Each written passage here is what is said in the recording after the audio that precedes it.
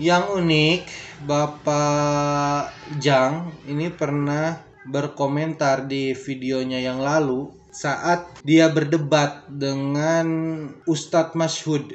Pas perdebatan ini beliau mengatakan bahwasannya Al-Quran dan hadis itu dikeluhkan oleh banyak orang yang dia baptis itu adalah sebuah hukum yang memberatkan. Ya, jadi Ade Armando juga menyatakan pernyataan yang sama persis dengan Bapak Paul Zhang. Padahal kan Ade Armando ini ya setahu kita umat Islam. Tapi intinya Ade Armando mengatakan bahwa Al-Quran dan Sunnah adalah biang dari segala masalah dan juga malapetaka jadi menurut Ade Armando, Al-Quran dan Sunnah hanya cocok untuk digunakan di zaman Nabi dan tidak digunakan untuk hari ini.